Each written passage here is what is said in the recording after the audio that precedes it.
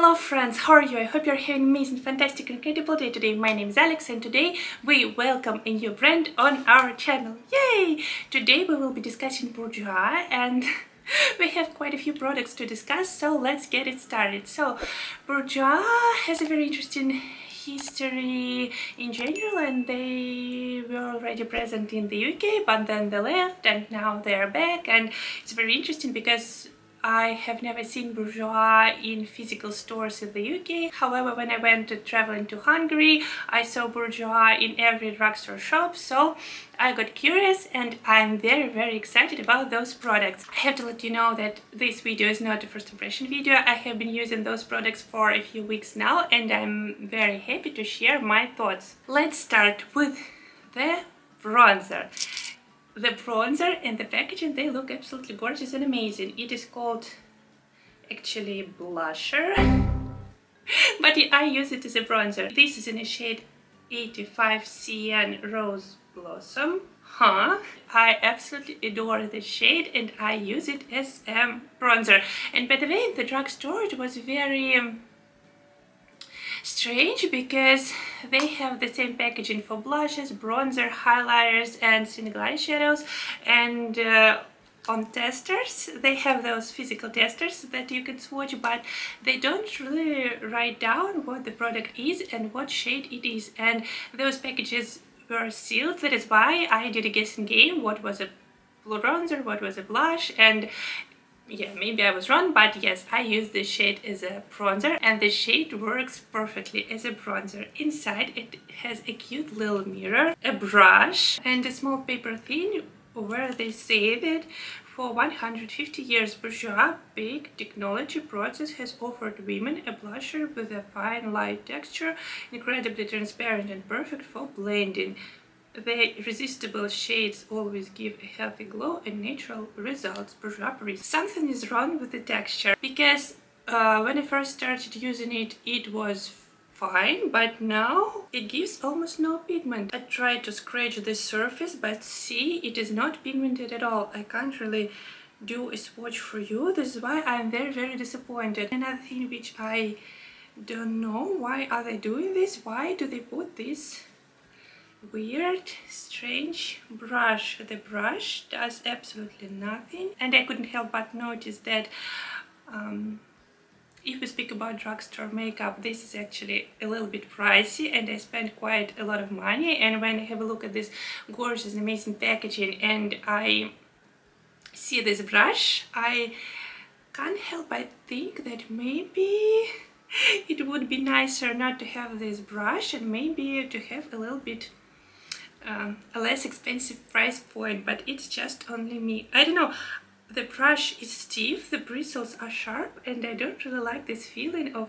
uh, this brush touching my face. So, if you don't mind, we will move on and apply this product using my normal ordinary brushes. I try my best in order to get the product on the brush and uh, I'm not really successful. Let's try and maybe I see the tiniest, tiniest hue of bronzed glow on my face and is it matte or shiny? I would say that this is a matte product with the tiniest, tiniest sparkles but on the skin it looks like a matte product. Let's move on and discuss real blush. This product I use as a blush. It is called Duo Blush Color Sculpting Light Shade, Dark Shade. So it is in a shade 01 in Separ Roses, made in Italy by the way.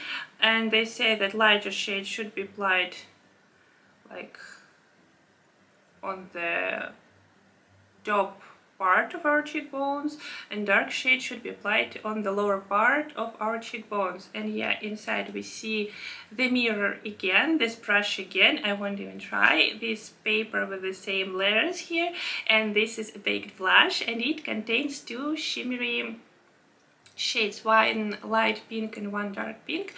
I'm not quite sure how i'm supposed to collect those shades with my fluffy brush and uh, you know separate one shade from another shade we will mix them together and apply um, on my brush.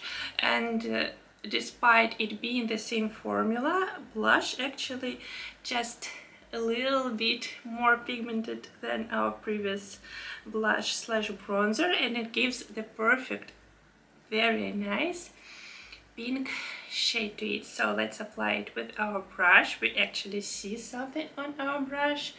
And yeah with the brush we can see that it applies a little bit better than our previous product which is quite nice. I really like this product. I really like the shade. And I don't know, I really like this tiny, roundy, small little packaging. I think that the shade is very, very pretty. I hope you can see it on my face. This is not the end of our makeup application because the next product which we will be discussing is Bourjois Ombre Paupières. I guess that this is a French brand because everything is in French here.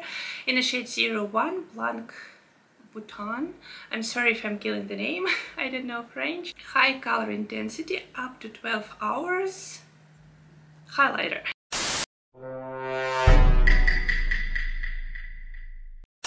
The way, every roundy product here, it has a magnet inside, which is quite convenient. And inside we have a mirror, we don't have this brush and we don't have this paper, which is quite interesting for me.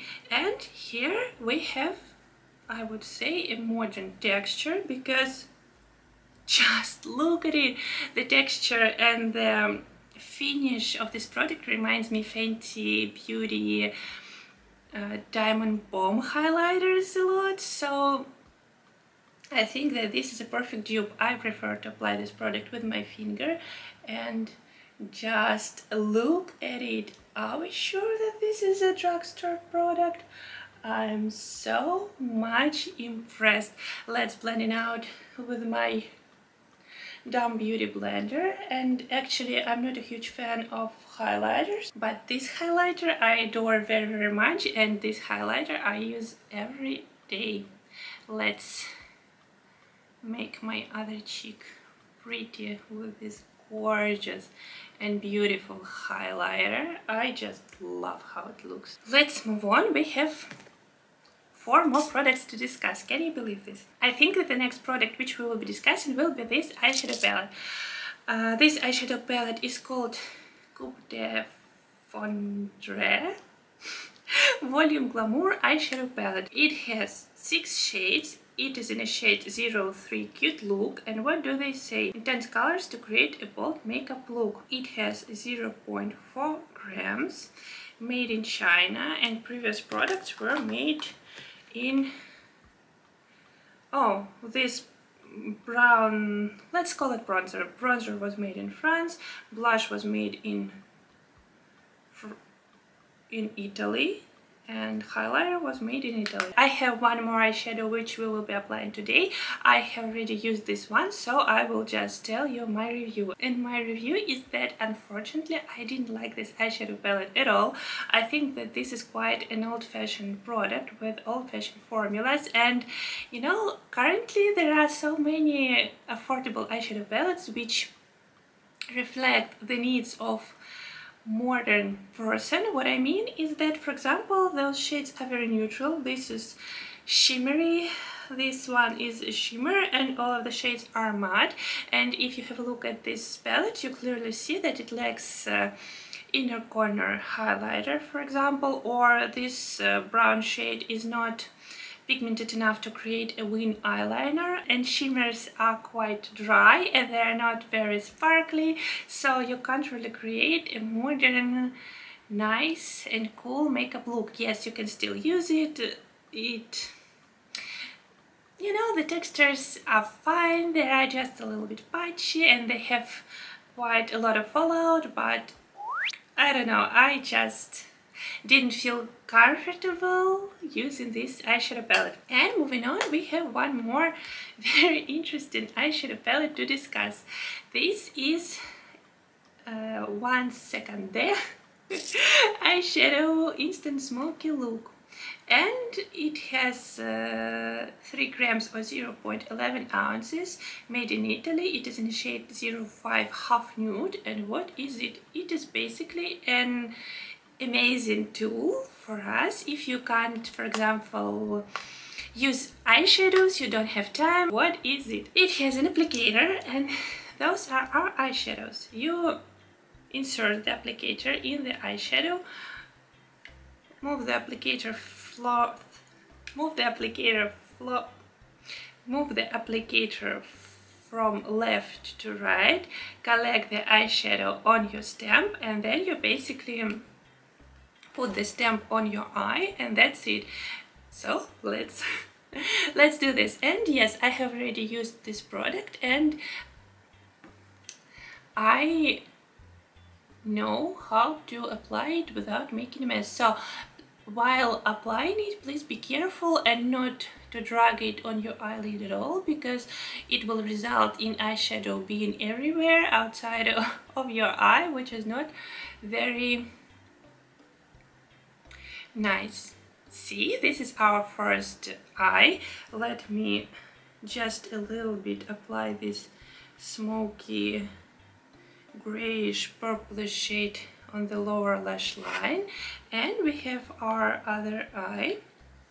It has a little bit of fallout but it is not something drastic. And what I'm curious about is that on our eye the order of shadows is quite weird because at first we have dark matte shade then we go light gray shimmery shade and then we have like another brighter shimmery shade which is not the water which I would apply my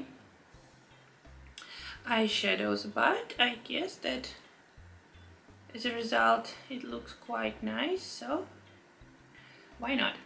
Let me do this again and we instantly see that it creates a little bit of mess right so it is not a complete makeup look that is why I like to take my fluffy brush and just a little bit blend out edges and maybe blend out a little bit the eyeshadows themselves. This blends quite well, so I don't see any problem here. And yeah, this was our quick and easy smoky eye look. And actually at first I was hesitant about this product because I don't know it doesn't seem very modern too but on the other hand at the same time I found myself using this eyeshadow quite a lot when I don't have time and I don't want to be creative. I just want to throw something on my eye. It is quick it is easy it looks very very nice. They have some kind of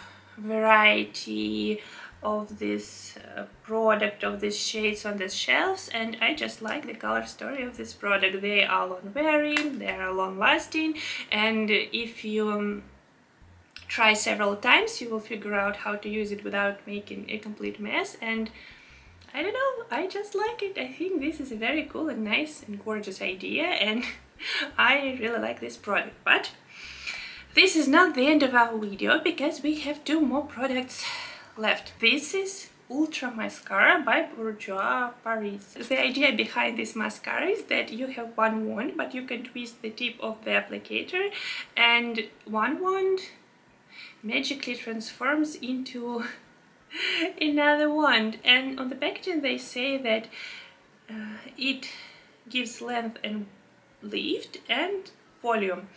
And they don't really say uh, which position does what. I really like use this scrunched twisted option because I think that it does something on my eyes. And because it's not a first impression video I would tell you that I am so much in love with this mascara. I'm very very impressed. It gives gorgeous curl, gorgeous volume and it holds the curve for quite a while. So I ended up using this mascara every day. I really really like it. It works perfectly for my lashes. The only thing is that this mascara distributes itself on my eyelid but this is fine. And we have the last product to discuss. Can you believe this The last product which we will be discussing will be Rouge Edition Velvet uh, uh, matte liquid lipstick in a shade 27 Cafe Ole. This is in shade 27 Velvet. This is the exact dupe for Rare Beauty matte liquid lipstick in the shade Courage. I really like the texture, it is not drying and from what I know these matte liquid lipsticks are iconic and people have been using these and have been loving them for many many years. I have been wearing it for several videos now and I really like it. I think that this is a perfect nude shade. It doesn't dry out lips. It has this moussey texture and I'm just a fan of this lipstick. Our final thoughts. First of all, let's discuss our bronzer and blush because they are the same thing. So, I really like the idea behind the packaging. I really like the shades but unfortunately i don't like the textures. I think that the textures are very very dry. It's impossible to apply them with a brush or with i know with your hands. And despite me thinking that shades are amazing and perfect and beautiful unfortunately i just can't recommend those products because i think that this is the waste of money and you won't be able to use them because they are just not pigmented. They look very pretty and if i would choose between those two products i would choose this one just because this is a little bit more pigmented than this one. Highlighter i would 100% recommend it. This is very bright very cool very magnificent. I think for the price point the product is just there. It has a high-end uh, uh, quality and the texture is very modern, up-to-date and unique and I really like this product. Pink uh, Volume Glamour eyeshadow palette unfortunately I can't recommend too. I think it is just old-fashioned palette, old-fashioned formulas, and they don't serve the purpose and needs of our modern customer. That is why that is why no, this eyeshadow palette I wouldn't recommend it. However, this uh, instant uh, smoky eye eyeshadow palette is a very amazing and gorgeous idea. If you are on a run, you don't have time to play with your eyeshadows, you just slap this stamp on your eyelid and basically you end up with a very nice makeup look course maybe uh, this color story is not very bright and it just doesn't scream hey I'm here but on the other hand you can experiment with different palettes I think that they have several shades of them and yeah I really like the texture of these eyeshadows they blend really really well it's very easy to clean up the mess and actually yes it takes just a couple of seconds to apply them on your eye. Mascara. I have tried this mascara for several times. I have been using this for several weeks now and I really like the formula of this mascara. It works perfectly well for my lashes. It gives length and curl and it doesn't clump my lashes. However, I'm not really sure about this twisty applicator. I'm not really sure if it um, um, gives any difference uh, to the lashes and it works differently for lashes if you tweak this mascara brush or not but at the same time I give this product the benefit of doubt because I know that quite a few brands they have those twisty um, tips uh, for mascaras and maybe for my lashes there was no difference but at the same time maybe for different lashes there will be some difference and the formula is amazing. So yes I would 100% recommend this mascara. And the last product is our cute little Rouge Edition Velvet Matte Liquid Lipstick in the shade 27 Velvet. This is a dupe for Rare Beauty Matte Liquid Lipsticks. This liquid lipstick has 7.7 milliliters and Rare Beauty full size liquid lipstick has like 3.8 milliliters. So this cute little guy I don't know, just screams to me by me not rare beauty but at the same time yes the formulas are identical. The shade is identical to rare beauty courage uh, smart lip cream. This is long wearing this doesn't transfer to teeth and yeah this doesn't dry out lips and they have a lot of shades. They have just crazy amount and variety of shades. So yeah this is just an amazing product and I would definitely recommend it. So it was all for me for today. Please let me know what I thoughts about Bourjois brand. Have you tried their products or not? What are thoughts about the products which we have already discussed today? Please let me know if you have any suggestions or recommendations of what can we unbox or review together. Please be safe, take care. I honestly care about you so so so much and see you in my next videos. Bye!